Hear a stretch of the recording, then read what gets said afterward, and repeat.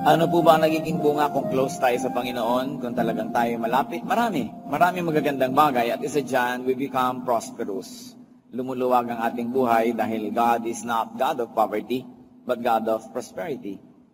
One of the greatest quests of man is prosperity. Yung iba sabi nila, being rich. Overflowing with supplies, with wealth, and with blessings. Marami pong mga ideya kung paano ito makakamit. Maraming mga paraan, maraming payo kung paano magiging maginhawa, masagana ang buhay ng tao. At ngayon po tayo ay sasangguni sa Biblia, sa Psalms, sa mga awit na nalikha ng napakaraming taong kinasihan ng Espiritu ng Diyos at pinag-isip-isipan, pinagbulay-bulayan ng buhay at nagkaroon sila ng mga aral, hindi lang para sa kanilang sarili, kundi para sa atin din naman. The psalmist way to prosperity ang itinuturo ng mga awit kung paano natin magiging masagana ang buhay. Atin pong babasahin yung Psalm 1, ang unang salmo, unang awit, sapagkat ito isa sa mga pinakamagagandang bahagi ng Biblia. Blessed is the man who does not walk in the counsel of the wicked, or stand in the way of sinners, or sit in the seat of mockers. But his delight is in the law of the Lord, and on his law he meditates day and night. He is like a tree planted by streams of water, which yields its fruit in season, and whose leaf does not wither.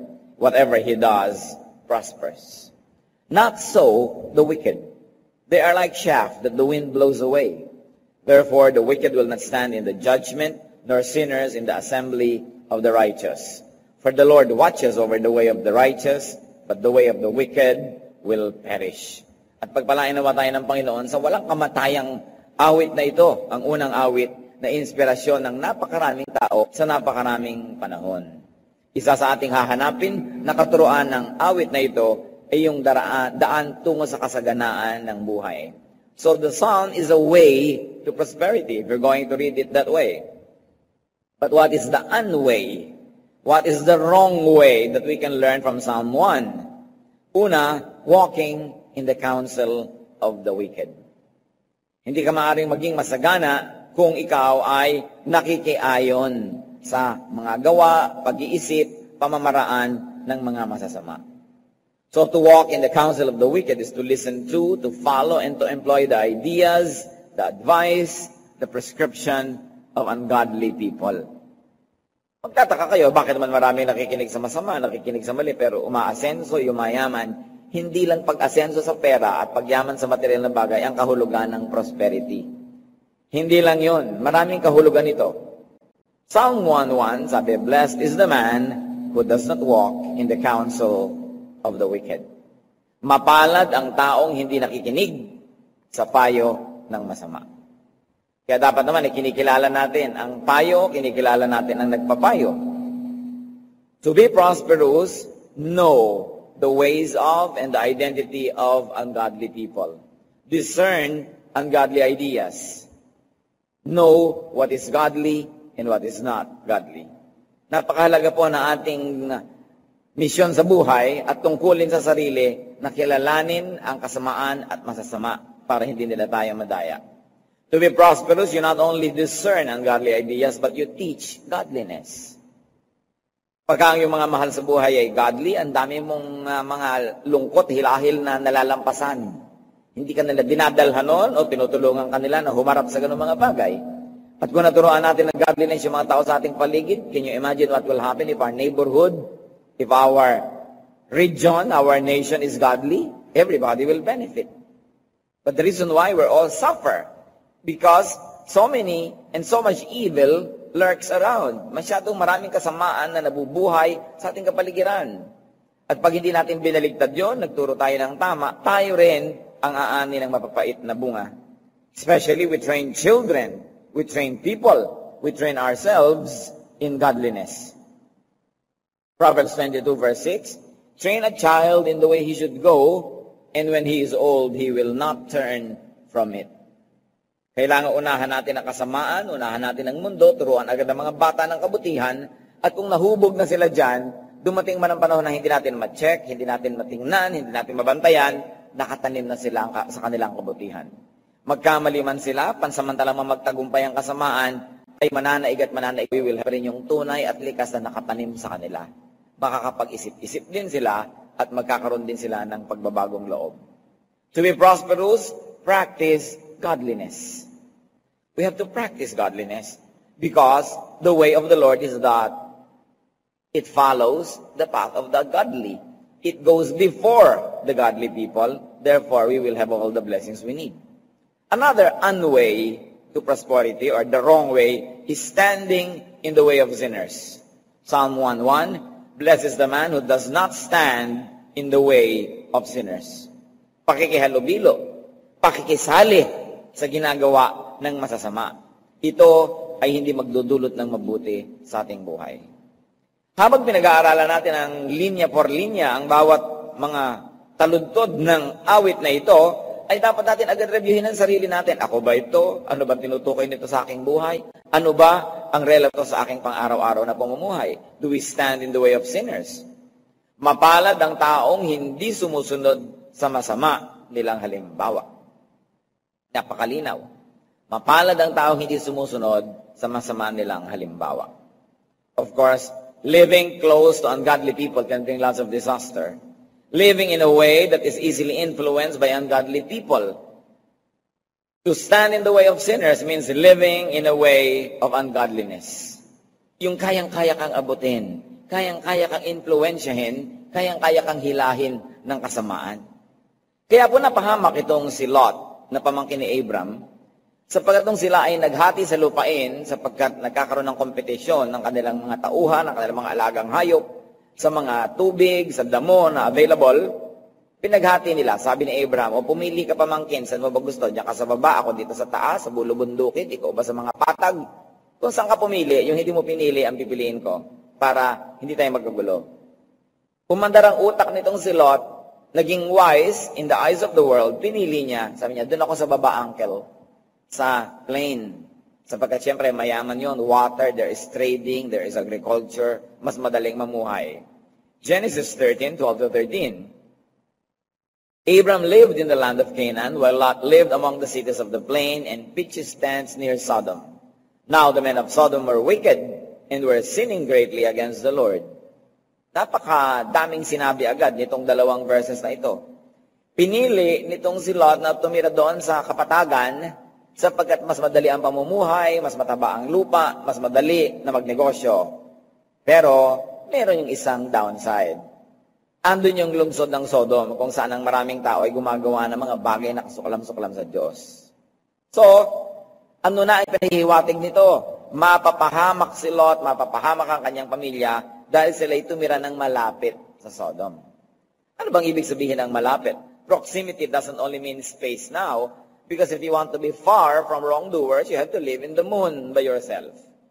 So anong ibig sabihin na huwag tayong tumitira ng malapit sa mga kasamaan at masasama? Hindi lugar, hindi physical place. Dapat kahalubilo mo man sila, kasama mo man sa trabaho, kapitbahay mo man, kasambahay mo man, pero malayo ang loob mo sa kanilang ginagawang hindi tama. Hindi ka nakikisali, hindi ka nakikiayon. Nandun ka lang kasi wala ka namang magagawa. Hindi lang naman gumawa ka ng sarili mong mundo na nag-iisa ka lang. Pero ang mahalaga, bagamat kahalubilo, nakahiwalay ang espiritu natin. Proximity is a way of life. It is interacting as to be influenced. So dapat hindi natin hinahayaan na nai-influensya tayo ng kasamaan. Napakahalaga na ang tao buo ang kanyang loob, kilala niya kung sino siya, alam niya kung anong mabuti, at tinatanggihan niya kung ano ang masama. So the challenge of living among so many people is being near but being clearly far in the way that we think, in the way that we live our personal lives. What is another unway to prosperity? Isa na namang maling daan kung ang gusto natin ay kasaganaan, sitting in the seat of mockers. Pakikisangkot, pakikiisa sa gawa ng kasamaan. Blessed is the man who does not sit in the seat of mockers. Sabi ng Psalm 1.1. Mapalad ang taong hindi nakikisama sa mga kumukutya at hindi nakikisangkot sa gawaing masama. But sometimes just being silent means already agreeing to what is happening. Kapag hindi ka tumututol sa mali, ibig sabihin, kayo sumasang-ayon. Walang fence-sitter. Walang neutral dyan. You know, morality, correctness is like riding a bicycle. The moment you stop moving forward, you fall. And the moment you stop going against what is evil, you actually begin going with it and for it. So what is sitting in the seat of mockers? Taking on the position and the point of view of ungodliness. Na ang umiiral sa iyong buhay, ang iyong pananalig, ang iyong mga pamantayan, mga patakaran, eh yung hindi maka-Diyos. That is sitting with the mockers. Pakikiisa. Hindi lang pakikihalubilo, hindi lang pakikisangkot, kundi pakikiisa. What is the destination or the destiny of the unway, of the wrong way? Psalm 1.4, The wicked are like chaff that the wind blows away. Napakarami pong mga example sa Biblia na pang-agriculture. Halimbawa, yung trigo, equivalent ating bigas o palay, pagka kiniskis na yon, humihiwala yung balat, yung ipa, doon sa buto o yung tatawagin nating bigas. At syempre, yung humiwalay na ipa, madaling dalhin ng hangin. Wala na yung sariling bigat. Magaan na yun, wala na yung direksyon. At sa napakarami mga lugar, ito sinusunog lang. Hindi naman ito kinakain at hindi pinapakinabangan. At ganun daw ang masasama. Para lang mga ipa. Para lang balat ng prutas, wala na yung prutas sa loob, ito ay tatangayin lang ng hangin. Ang sino mang gumagawa ng masama ay tulad ng ipa, hangin ang siyang nagtatangay. Kung tinatangay ka lang ng hangin, ibig sabihin wala kang direksyon. So, what is the destiny of the wicked? What is the destiny of the unway, the wrong way? Worthlessness. Nawawala ng halaga ang isang taong sama-sama, sumasama, nakikiayon, at nakikiisa. Directionlessness. Diba, karamihan talaga ng karanasan natin, pag tayo nakinig sa mali, sa masama, doon tayo nawawala ng direksyon. Hindi mo alam kung anong gusto mong gawin sa buhay, saan ka pupunta, trial and error, mostly errors, at matagal na ang dumadaang panahon, walang nararating, walang na-achieve, ang gulo-gulo. So there can be directionlessness and substandardness. Pagka nahiwalay na yung ipa doon sa trigo o sa bigas, anong mangyayari sa ipa? Hindi siya papasa sa test. Pwera siya sa ilalagay sa sako, pwera siya sa bibilhin, kakainin at hahangarin because it is substandard. There is failure at quality control. And when people live by the teachings and by the standards of evil, they will never pass the quality control of heaven. They will become substandard. And therefore, there is exclusion from godly company. Sabi sa Bible, they will not stand in the judgment. They will not be with the righteous. There will be exclusion from eternal privilege and blessings. Hindi sila kasali. So far, pinag-usapan po natin mga kapatid yung kabaligtaran, the unway to prosperity. Meanwhile, what can we learn from Psalm 1 that talks about the way to prosperity? We must first and foremost appreciate that religion is a way of life. It is a way. It is a direction, a procedure. Pag sinabi mo, ako'y religyoso, ibig sabihin, may nakatanim sa puso mo na paraan kung paano magbihis, kung paano gumastos, kung paano magluto, kung paano mamuhay. Kasi ang tunay na relihiyon na isang paraan, isang daan ng pamumuhay. That's why even the Jesus movement was called the way. Ang una pong tawag din sa ating pananalig ay hindi naman Christianity eh ang daan. The way. Kasi nakita nila yon na daan tungo saan ba? Tulad ng pinag-uusapan natin sa prosperity. Daan din yan tungo sa what? Sa kapayapaan. Daan tungo sa Diyos, sa kaligtasan. Daan tungo sa kahulugan ng buhay, sa katatagan, sa pagiging buo. Daan ang Kristyanismo. Kaya dapat, ang daan ay may pamamaraan. It's procedural. Kaya sa Acts 24.14, sabi ni Pablo, However, I admit that I worship the God of our fathers as a follower of the way which they call a sect. At this point, Paul was referring to what was to become called Christianity, na ang tawag the way. So what is the way? First of all, the reverse of the unway. Pag gusto nating hanapin kung ano ba yung daan, eh yung kabaligtaran ng hindi daan, ng mali. At tulad ng pinag-usapan natin kanina, babaligtarin lang natin, the way to prosperity is walking in the counsel of the godly. It is standing in the way and sitting in the seat of godliness. Binaligtad lang natin, so wala namang bago. Mirror image lang ng pinag-usapan kanina. Psalm 1:2, But his delight is in the law of the Lord, and on his law he meditates day and night. Ngayon, nakikita natin na isang daan para sa prosperity na hindi pa natin nabanggit. Pagpapasakop, pagbababad sa salita ng Diyos. His delight is in the law of the Lord, and on His law He meditates day and night. Awit isa dalawa sa halip, kasiyahan niyang sumunod sa kautusan ni Yahweh, binubulay-bulay niya ito sa araw at gabi. So babad na babad sa salita ng Diyos. Kung bibilangin natin, pang-apat na tayo ngayon on the way to prosperity. Kasi naunang tatlo, biniligtad natin. This is meditating on God's law. Gusto nating sumagana, gusto nating umayos sa ating buhay, we should meditate on God's ideas, on God's ways, on God's sense of right and wrong, of good and bad. At mahalaga, paging malinaw mga kapatid, is God's, not just man's law. Lagi that you meditate on the law of the Lord. It's not only the law of men. It's not only the traditions of men. It's not only the teachings and preferences and taste of religious leaders pinaghihiwalay natin lagi yung tunay na kalooban, turo at kagustuhan ng Diyos mula sa kalooban, turo at kagustuhan ng mga religious leaders at ng mga organized religions. Matthew 15.9 They worship me in vain. Their teachings are but rules taught by men. Sabi, bali wala ang pagsamba nila. Ang kanila lang mga katuruan eh, katuruan lang ng tao, hindi katuruan ng Diyos. So pwedeng mangyari yan kahit sa tinatawag na Christian congregation. Acts 4, 18 to 20. Then they called them in again and commanded them not to speak or teach at all in the name of Jesus. So nakita niyo po ang kagustuhan ng templo, ng religion, huwag magturo, and pangalan ni Jesus. Pero sumagot ang mga alagad, But Peter and John replied, Judge for yourselves whether it is right in God's sight to obey you rather than God. For we cannot help speaking about what we have seen and heard. So, eh, kayo po mag-isip kung ano bang tama, sundin kayo o ang Diyos. Malinaw na malinaw kila Pedro na natuhan na yung kagustuhan ng mga religious leaders, eh hindi yon ang kagustuhan ng Diyos. Hanggang ngayon, mga kapatid, dapat natin laging hinihiwalay ang kagustuhan ng religious leaders sa kagustuhan ng Diyos. Ang utos ng religion at sa utos ng Diyos. Kasi siyempre, sa katagalan, Marami ng mga filling the blanks, marami nang inilagay ang mga religion para mapuno yung parang mga kulang.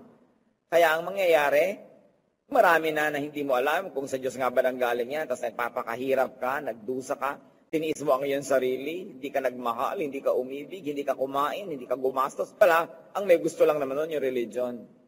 Parang yung mga pelikula. Pagka mayroong isang interesting na tao, na tunay na tao, na ang kanyang buhay ay maganda, cinematic, bibilhin ng mga gumagawa ng pelikula, ang karapatang isa pelikula yon at gagawa sila ng script. Marami sa mga tao na yon na naging uh, subject ng maraming pelikulang yan, nagrereklamo. Sabi, ay, hindi ko ginawa yan, hindi ko sinabi yan, ba't nandiyan sa pelikula? Eh, kasi dinadagdag para gumanda yung pelikula. Alam nga naman, kapraso lang yung kwento niya, kapraso rin yung sine. So, siyempre, bubuuin mo, lalagyan mo yung mga sa tingin mo ay kulang, pupunan mo. At kung walang maipuno na nanggaling talaga dun sa pinanggalingan ng kwento, i-invento ka na lang para mapuno yun. At maraming ganun sa religion. Ano ba, ilang beses kang tatayo, luluhod, uupo. Ay, hindi naman sinabi ng Diyos sa langit ko ilang beses yon Religion na lang nagsabi niyan. Anong isusuot mo pag nagsisimba ka? So may mga kautosan yung mga relihiyon na hindi naman Diyos ang may utos. Kumisan, hindi naman masamang sundin, pero kung nagdusa ka na sa buhay, hirap na hirap ka, tapos nagtitiis ka dahil akala mo gusto ng Diyos, yun naman pala hindi, edi lugi ka. Sayang ang pagtitiis mo. Marami kang mga hindi ginagawa, hindi pinupuntahan dahil sabi mo, ay ayaw ng Diyos. Yung pala, ang may ayaw lang, yung relihiyon na inaniban mo. Either ayaw ng relihiyon mo na maiksi ang buhok, ayaw ng relihiyon mo na hindi ganito ang suot mo.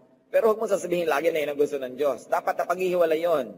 Hindi na panahon ng kamangmangan na walang alam ang tao, kundi sinasabi ng mga leaders. Kailangan nagre-research ang tao, nag-aaral din mag-isa. Ang kagustuhan ng Diyos sa atin ay magkaroon tayo ng buhay na makahulugan at kung minsan, yung pangrelihiyon na nagiging hadlang para magkaroon ng maraming kulay at kabuluhan ng buhay mo, duty mo yan na pag-aralan. Do not suffer needlessly only because of man's laws. Panahon pa ng mga propeta, panahon pa ng mga apostoles, nangyayari na yan. So we meditate on the law of the Lord. And what does it mean to meditate? To reflect deeply on a subject.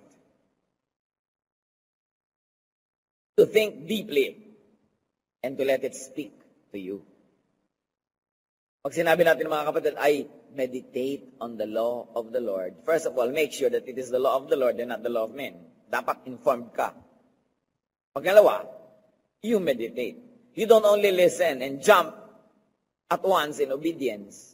You think deeply. Siyempre, ginaglamorize ng school, ng gobyerno, ng religion yung obedience.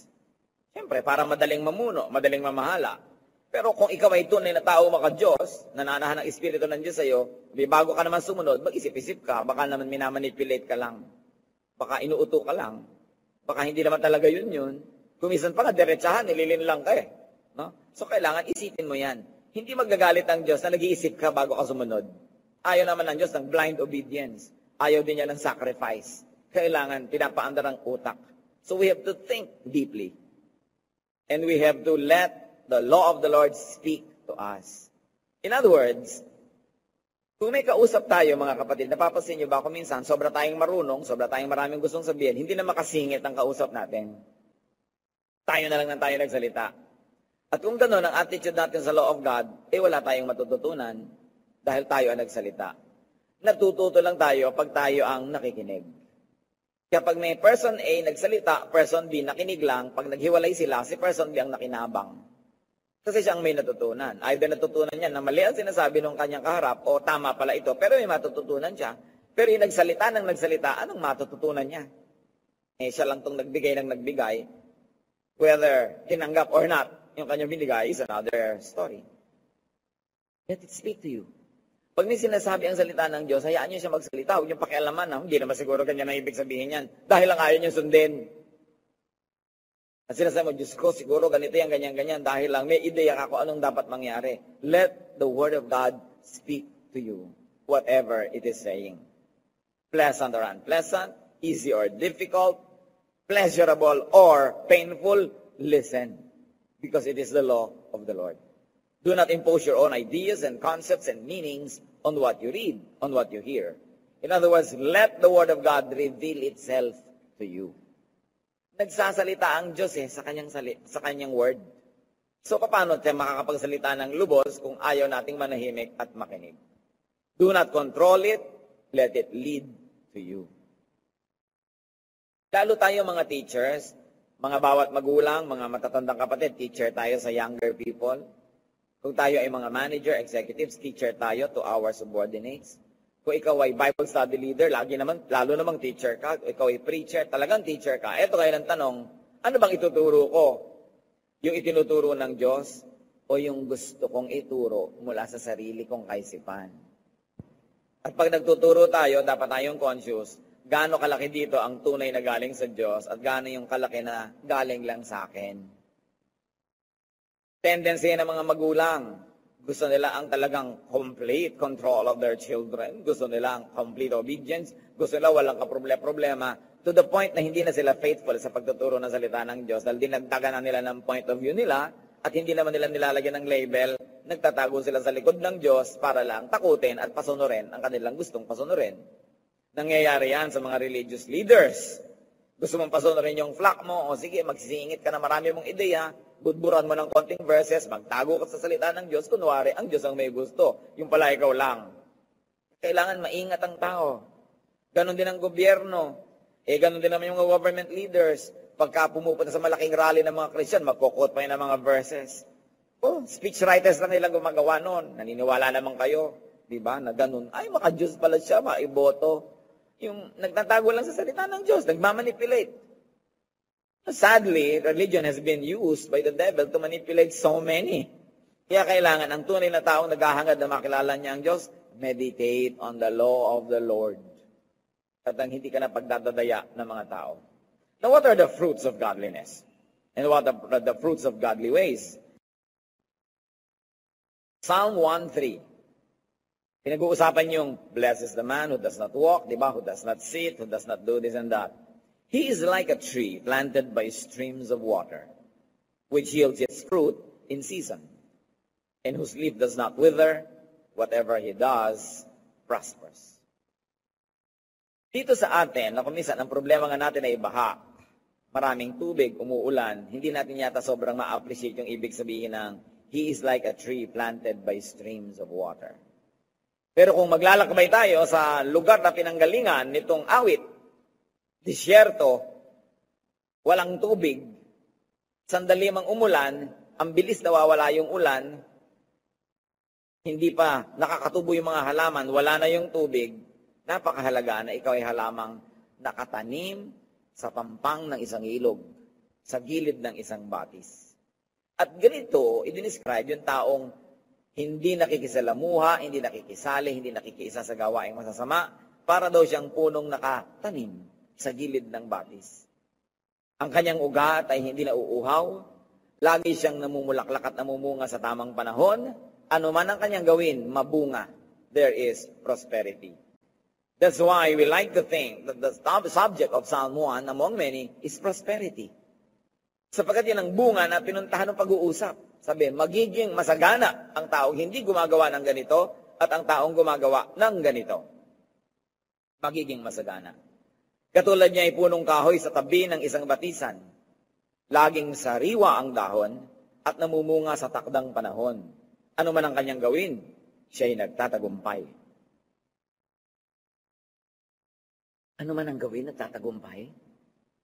Isa pala yun sa mga pamantayan ng Biblia para malaman kung tama ka, kung tama ang ginagawa mo sa buhay, ano man ang gawin mo, nagtatagumpay. Ngayon, kung minsan naman may mga kulang ka rin, pero pinupuno ng Diyos, well, that is God's prerogative. Pero kung talagang tama ang ginagawa mo, batting average dapat ng buhay mo, matagumpay. Batting average ang iyong buhay, masagasto na. Nakakaranas ka ng kasalatan, nakakaranas ka ng mga kabiguan, pero ang higit na lalong namamayani sa buhay mo, kung ikaw ay umiiwas sa masama at sumasama sa tama, mas marami kang tagumpay kaysa kabiguan. Mas marami kang kasaganaan kaysa kahirapan. Ano daw ang bunga kung ang tao ay makadiyos, tulad ng puno, access to water which really means access to life. Pakikiisa sa Diyos. Sapagkat ang Biblia ay sinulat sa mga lugar na kapus madalas sa tubig, gano'n na lang ang love affair ng Biblia sa tubig. The Bible's love affair with water is very obvious. Even Jesus is called the living water. John 7, 37 to 38, On the last and greatest day of the feast, Jesus stood and said in a loud voice, If anyone is thirsty, let him come to me and drink. Whoever believes in me, as the scriptures has said, streams of water will flow from within him. Tubig, buhay na tubig ang ginawang halimbawa kung sino si Jesus sa buhay ng mga mananampalataya. At ang tunay doon na nananalig din ay magbabalong sa kanya ang tubig na buhay. Living water will spring and flow from within him. Isa pong napaka-interesting na writer, si Masaru Emoto, isang Hapon, sa kanyang aklat na The Secret Life of Water, eh, meron siyang ginawang mga eksperimento tungkol sa tubig. And he talks about the wonders of water from a very fresh and refreshing point of view. Sinabi niya na ang waters are made up of crystals, true enough. Pero marami siyang ginawa na experiment na yung tubig at yung kristal na bumubuo sa tubig ay naaapektuhan ng iniisip at sinasabi ng tao. Naglagay siya ng mga tubig halimbawa at finreeze niya para yung mga crystals noon ma-freeze. At may mga taong lumapit doon, nag-isip ng mga masasama, pangit, nakakatakot na mga bagay, mga kagimbal-gimbal na mga bagay. Nung tingnan nila sa kanilang mga instrumento yung crystals, gulo-gulo, wasak-wasak. Ngayon, pinalapit naman sa mga tao ang mga kristas ng tubig na ito, frozen din. At ang mga tao naman ay nanalangin, umawit, nagsalita ng magagandang bagay, nag-isip ng mga magagandang mga pangitain. At nung tingnan nila sa kanilang instrumento yung mga kristas, ang gaganda ng formation. Nagre-react ang tubig sa iniisip ng tao. According to the experiments done by this Japanese uh, person. Kaya nga hindi ba, yung tubig, pag sabing, nagtataka pa tayo, ay, oh, ingkong, may bulong ba ang inyong langis? Di ba? Pagka nagpapa hilot ka. Tayo mga Kristiyano ay tinakot. Ka magpapahilot sa may bulong. No? Huwag mong bumulungan, masahihin nyo lang ako. Sabi ngayon ng hilot, eh, therapy na lang yan. Yan ay spa. Dahil siyempre, kailangan kong bulungan to. Kinakausap niya siguro yung tubig. Ano man ang sinasabi niya. Kaya tayo nagpe-pray, di ba? Bago tayo uminom, bago tayo kumain, nagpe-pray tayo. Nung malay nyo, naapektuhan yung mga molecules ng mga pagkain natin, lalo siyang nagiging blessing. Kasi yung ating isip, yung ating prayer, nakaka-apekto sa paligid. Hindi ba si Jesus sabi lang niya, hangin, tumigil ka, tumigil nga, naapektuhan. Bagyo, dagat, tumahimik, nakinig. May kapangyarihan ang tao na ibinigay ng Diyos. So, pagka tayo nilikha sa wangis ng Diyos, saan mo ngayon ginagamit yung kapangyarihan mo? So pag ang lagi mong iniisip, makakagalit ko tong among to, hindi magtatagal, makakagalit ko to. Talagang hindi magtatagal, mag-aaway kayo. Inisip mo na eh. Pero pag sabi mo naman, naku, may in love yata ako dito sa office mate ko na to, parang nahuhulog ang loob ko, yun talaga ang mangyayari kasi iniisip mo. Kaya napakahalaga yung isip natin positive. Hindi lagi yung negative. Ang batang ito, walang kinabukasan. O ito, wala itong pag-asa. These negative words should never be the flower of our mouths sapagkat may kapangyarihan ang ating iniisip at sinasabi. Ngayon, you want to be prosperous in life, pero wala kayong inisip kundi kahirapan. Wala kayong topic kundi ang mahal-mahal ng lahat. Ako, paano pa natin ma-afford? Paano tayo magbubuhay? Ganun talaga ang nangyayari sa inyong buhay. Sapagkat yan ang inyong iniisip. Kaya nga hindi ba sabi, believe. And when you believe, believe that you got it because you got it already. Kasi ang pananalig mo, ang kikilos, at mag-aayos sa mga bagay para matupad ang iyong pinapanaligan. Napaka-importante na yan ang ating sinusuri. Sapagkat nandiyan lahat sa words of God yan, nasa Bible. Yung mga nag-isip na gagaling siya, gumaling. Sabi ng babae, mahipo ko lang ang laylayan ng damit ni Jesus, gagaling ako. Pagkahipo niya, gumaling talaga. May kapangyarihan ng pananalig. At anong malay natin kung anong ginagawa ng pananalig at iniisip natin sa kapaligiran, sa hangin, sa tubig. Kaya interesting yung experiment na yan nung hapon na yun. Now, a person who studies, considers, and delights in godliness will have access to water. Yan ang sinasabi ni Jesus. Kung kayo ay nag-iisip ng magagandang bagay, nananalig, humihiling nito, nabubuhay kayo ayon sa kalooban ng Diyos, malinis sa inyong budhi, bakit hindi nga naman dadaloy sa inyo ang tubig ng buhay? Of course, another fruit of godliness is fruitfulness. Not only fruitfulness, but in season, sa panahon pamumunga. Timing is all important. Aanin mo naman halimbawa yung pakwan kung tag-ulan. Siyempre masarap yung pakwan kung tag-araw. Diba? Parang aanin mo naman yung singkamas kung may baha. Parang hindi mo naman naiisip, gusto ko ng singkamas, may baha. Kung kailan tuyong-tuyo ka, yung mainit na mainit, doon maiisip, gusto ko ng singkamas. In season. Kasi yung mga prutas ay binibigay ng Diyos sa panahon. Kaya kung kailan tuyot, magtataka ka, doon makakatas ang prutas sa panahon na yon. Kasi yun ang kailangan ng panahon. Ngayon, sa ating buhay, nakakainis ang sitwasyon, anong prutas ang kailangan mo? Patience. Lumalabas ba yung prutas na patience? O ang lumalabas, impatience? Wala sa panahon. May temptation, kailangan mong takasan. Anong prutas ang lumalabas? Strength o weakness? Kasi sabi, kung anong kinakailangan mo sa panahon na yon, yun ang prutas na lalabas sa'yo. Kung ikaw ay taong nananalig sa Diyos, lumalayo sa masama, nakababad sa salita ng Diyos, pinagbubulay-bulayan ng kanyang kalooban, yan ang mangyayari sa iyo. Kung anong kailangan mo, yun ang lalabas. Wala kang pera ngayon, may pangangailangan ka, yun ang darating sa iyo. Hindi additional gastos. Baligtad. No? Ikaw ay pagod na pagod, ang dumadating na tao sa iyo, yung nagbibigay sa iyo ng kapahingahan, hindi additional gulo. The fruits of seasons that we need. Sabihin yan ang lalabas pag makadiyos ka. Because God is God of balance. Tag-araw, makatas ang prutas. Mainit, malamig ang ibibigay sa iyo. So, nagdarahog ka, ang ibibigay sa iyo kasaganaan. May sakit ka, kagalingan. Pero anong dapat ginagawa? Meditate on the law of the Lord. And the law of the Lord is not only don't do this, don't do that. Hindi lang yon. Dapat tayong gumraduate. Sa taasan ng level ko anong ibig sabihin ng law of God. Hindi lang yung legal law. Hindi lang yung you shall not kill, although kasali yon. Hindi lang yung you will not commit adultery. Marami pang laws ang Diyos. Paano ka tatalino, paano ka rurunong, paano ka makikipagmabutihan sa kapwa. Marami pa na nandyan na. Kailangan lang nating makita na nandyan yan. Wala namang bago, sabi ni Solomon. Kahit sa science, they only discover, but they don't create. Sa kanilang pag-observe, sa kanilang meditation of the law of God, which is also the law of physics, the law of mathematics, the law of number, the law of chemistry, the law of electricity. Law, lahat yan ng Diyos. Kaya alam niyo mga scientists, baka Diyos. Although maybe sa moral law, baka hindi sila sumusunod sa huwag ka makiapid, nakikiapid pala sila.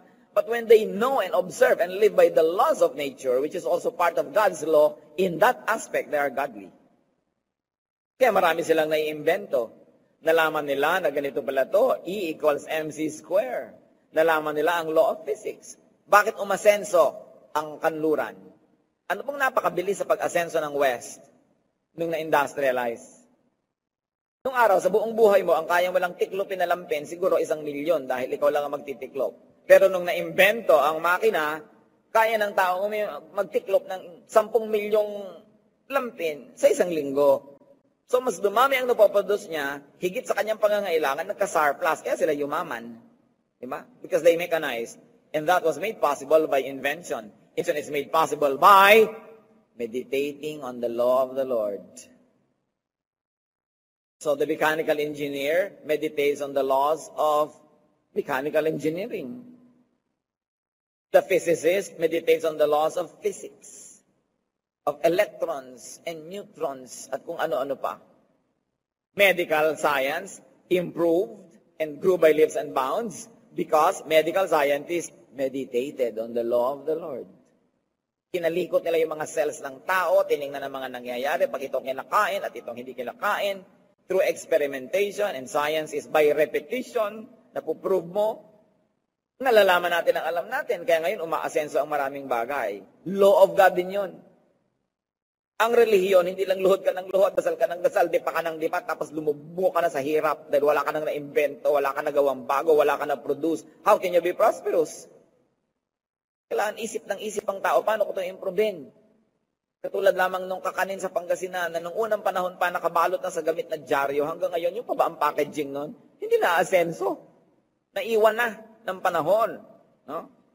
Yung ating mga kakanin na nung araw, ganun mo ginagawa, hirap na hirap ka, hindi ba yan mapapa-asenso?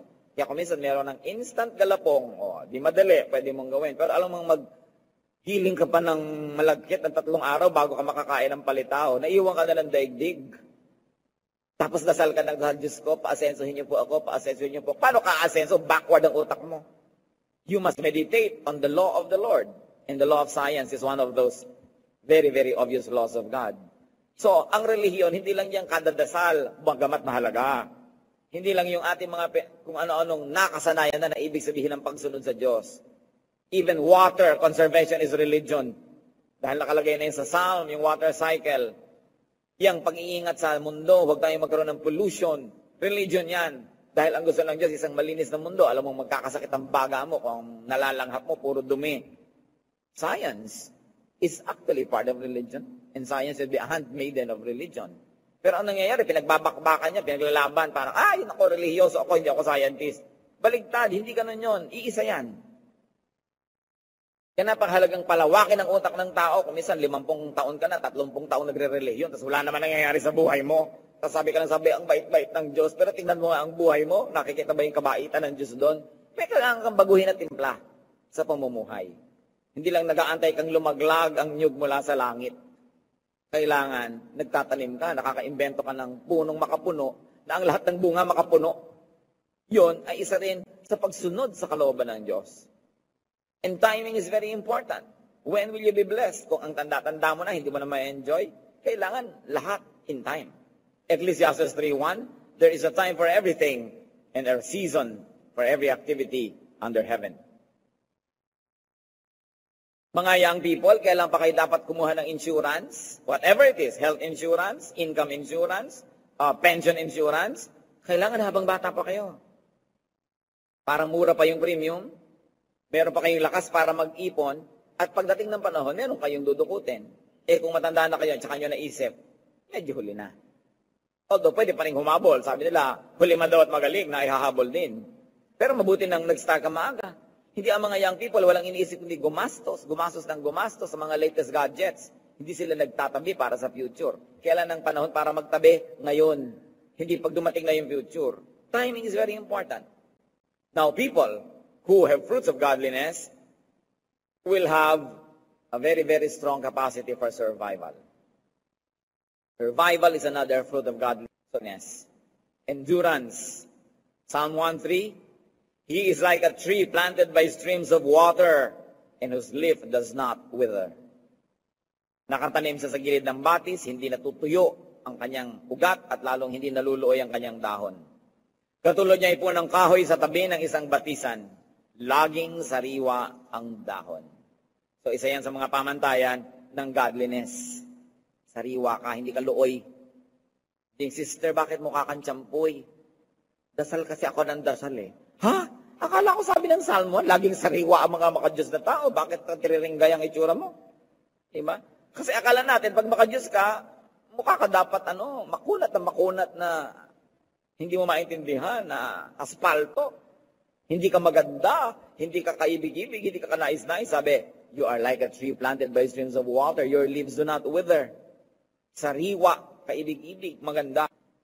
Kasi syempre, ginlorify ng religion nun. Dapat pag mareliyosa ka, mukha kang losyang, diba? Yung jeta ka ng jeta para i-donate mo lahat ang budget mo. Ganun eh, no? Parang napaka-manipulative. Sabi, ang tunay na pagiging makadiyos, nakikita mo rin sa itsura ng tao. Sapagkat ang Diyos ay Diyos ng kagandahan. So there is capacity for production. If you're godly. Anong sabi? Your leaves do not wither. Now, alam natin kung anong pa- papel ng dahon sa halaman. That through photosynthesis, the leaves are the factories of the plant. Na may mga gamit na inilalagay ang Diyos dyan sa loob ng dahon, pag naarawan, may iniimbento silang paraan, nagiging pagkain ng puno, yung nililikha ng dahon. Kaya kung gusto mong mamatay ang puno, ubusin mo lahat ng dahon. Walang gagawa ng pagkain. Therefore, if is being equated to godliness, a godly person will produce, will be productive, will not only survive, but will have the capacity for production. Isa kang factory ng kahit ano. Meron tayo dapat saysay, meron tayong ginagawa, meron tayong kontribusyon, meron tayong surplus production. Because the leaf produces more food than it needs for itself, it feeds the others. So hindi pwedeng makadiyos ka, tapos kasandal ka lang, nakaasa ka lang sa kapwa mo, wala kang hanap buhay, wala kang pagsisikap, hingi ka lang ng hingi, daing ka ng daing. You are not producing food. You are not a leaf. You are not a green, prosperous leaf. Hindi yun ang godliness. Kailangan nating tingnan ng ganyan mga pananaw. Another fruit of godliness, as we have already mentioned, beauty. Imagine a lifeless and a leafless tree. Hindi siya maganda. Di ba mukhang horror pagka yung puno, walang dahon? So kailangan may beauty. Nagiging bunga yan ng pagiging makadiyos. And of course, prosperity. Psalm 1.3, whatever he does, prospers. Ano man ang kanyang gawin, siya ay nagtatagumpay. Talagang yung Psalm 1, tungkol sa abundance. Tungkol sa tagumpay. Now, what's the reason for the prosperity of the godly?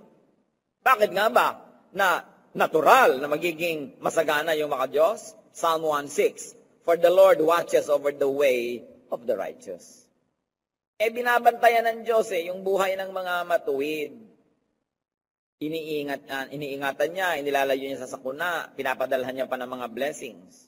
Sa taong matuwid, si Yahweh ang pumapatnubay. So the Lord watches over, protects, and guides the righteous. So consider, brothers and sisters, first of all, prosperity means being rich. Pag pinag-uusapan natin, kasaganaan, material ang pinag-uusapan natin dito. May pera ka, may gamit ka, may kabuhayan ka, tulad ni Solomon. At sabi ng Proverbs 15:6, The house of the righteous contains great treasure, but the income of the wicked brings them trouble. Yan daw, pag matuwid ang tao, marami kayamanan sa bahay niya, natural. Proverbs 13:21, Misfortune pursues the sinner, but prosperity is the reward of the righteous. So let us not blush if we are righteous and we like to be prosperous. Let us not apologize for being prosperous. Kung ikaw binibigyan ng Panginoon ng maraming pagpapala, hindi mo kailangang hingi ng tawad sa mundo na maganda ang damit mo, masarap ang pagkain mo, maginhawa ka. Mas hindi ka naman nakakalimot na magbigay sa kapwa, tumulong, mag-share. Pero hindi yan ikinukubli, hindi yan hinihingi ng tawad. Kasi sinabi na sa Biblia, isa yan sa mga patunay na kinatutuwaan ka ng Diyos. That you will be prosperous. So it is material. But prosperity is not only being materially rich, it is also feeling rich. So hindi masyadong marami ang pera mo, hindi masyadong maganda ang damit mo, hindi masyadong maluwag ang bahay mo, pero kung ang saya-saya mo tungkol doon, you feel rich, then you are prosperous also. Baligtarin mo naman, ang yaman-yaman mo, ang ganda-ganda ng suot mo, pero hindi ka masaya na kasi mangot ka, hindi ka mayaman nun. Mayaman ka lang, but not feeling rich. Now, rich ka na, tapos feeling rich ka pa. Wow, bonus. But between the two, pipili lang kayo, rich and feeling rich. Doon na tayo sa feeling rich. Una, mas madaling gawin yon. Second, yun ang mas nakakasiya. But if you are rich and you feel rich, double blessing. To feel rich is to have a mind, a disposition that is appreciative and contented. 1 Timothy 6, 6 to 7. But godliness with contentment is great gain. For we brought nothing into the world, and we can take nothing out of it. But if we have food and clothing, we will be content with that. Huwag nating gawing pamatayan sa buhay na ang ambisyon lang natin, food and clothing, dahil sinabi dito. Ang diwa ng verse na ito ay nagsasabing, Siyempre, tatanggapin namin lahat ng blessing na binibigay ng Diyos, pero kung hinihingi ng pagkakataon at ang nangyari lamang ay meron lang kaming pagkain at damit, tuturuan namin ang sarili namin na ikasiya din yon at maging kontento doon. Dapat ganun ang pagbasa. Huwag niyo sabihin, ay, Christian tayo, pag may food and clothing, tama na, huwag na tayo magdagdag. Hindi yon. Because all throughout the Bible, we are being taught to produce more than we need so that we can share and give to others. So that we can be productive. Yung iba naman kasi, akala nila, kung kristyano sila, tama nang sila'y dukha. Ang sinasabi dito, kung maging dukha man ako, dahil sa pagpapakabuti ko sa buhay at pagsunod sa Diyos, tuturuan kong sarili kong magkaroon ng kasiyahan doon. Pero kung matatakasan ko naman ng karukhaan habang ako'y nagiging makadiyos at hindi ko ibinebenta ang kaluluwa ko, ba't di ko naman gagawin yon? Mabuti ng sobra-sobra ang kayamanan ko, nakakapagbigay pa ako, at masaya ang buhay ko. Hindi dapat ihingi ng tawad. So to feel rich is to find wealth in simple joys, in peace. Proverbs 15:17, better a meal of vegetables where there is love than a fattened calf with hatred. Nung araw po kasi mga pobre lang kumakain ng gulay. At yung mayayaman, puro mga taba, matataba, mga karne-karne kinakain nila. Kaya ang Proverbs sabi, ay mabuti pa, gulay na lang kainin kung masaya naman tayo. Kesa ang sarap-sarap nga ng pagkain natin, tapos nag-aaway naman tayo, wag na lang. Ngayon, kung ang sarap-sarap na ng pagkain nyo, hindi pa kayo nag-aaway, tahimik pang buhay nyo, double blessing na naman. Pero huwag nyo sabihin, dahil makadiyos tayo, huwag tayong kumain na masarap. We are missing the point of the poetry. Na ito ay mga sagisag ng mga ideya, sometimes exaggerated ang pagpipresent, because that's how poetry works. Of course, to find joy in life, yung feeling rich, is to find wealth in love. Siyempre, kung in love ka, mayaman ka na rin kahit wala kang pera. Lalo, mahal ka rin ang mahal mo.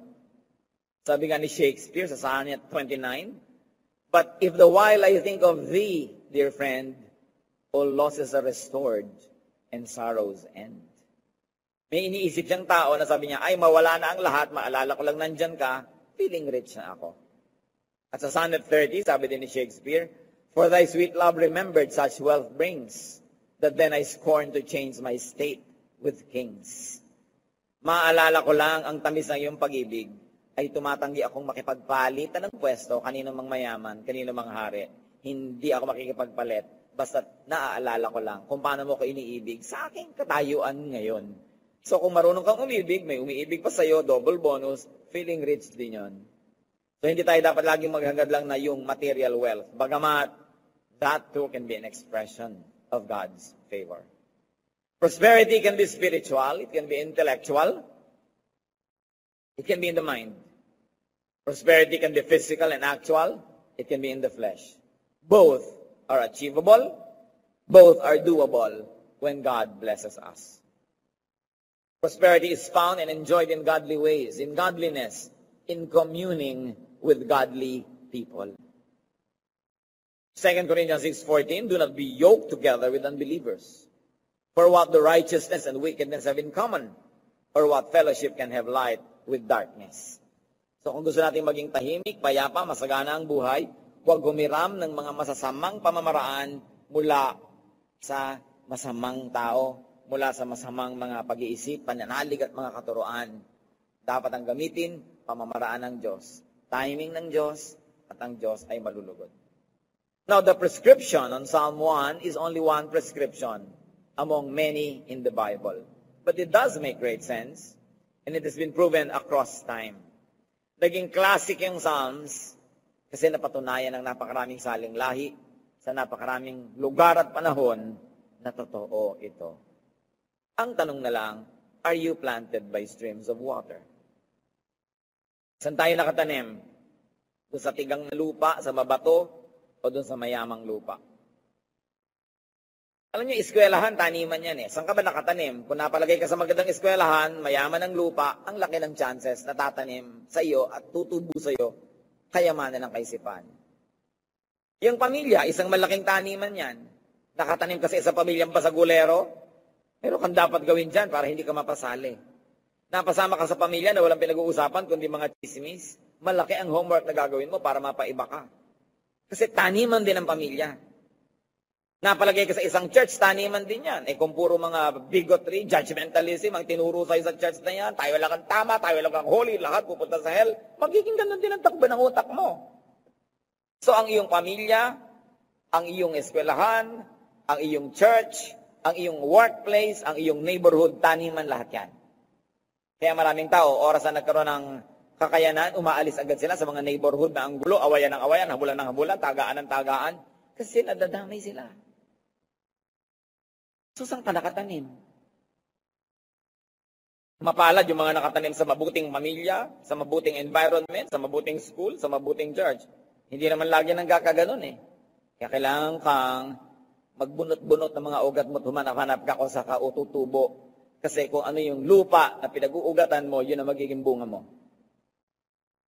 Kaya nakikita nyo, mga buto, magkakamuka, galing sa isang magulang na halaman, itanim mo sa iba't ibang lugar, magiging iba't ibang uri ng bunga niyan.